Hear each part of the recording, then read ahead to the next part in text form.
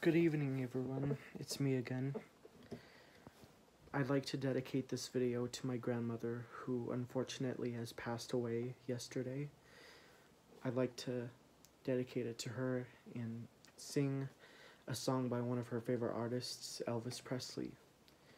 Before I do so, I want to say how thankful I am to have had her in my life. She has shown me and my family and everyone else around her so much love throughout her life.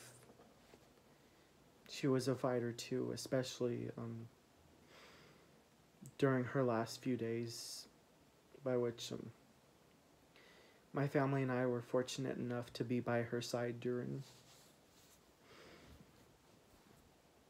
And I'm glad that I was able to tell her what I needed to tell her. I don't think I can ever thank her enough. I love you, Grandma Marley.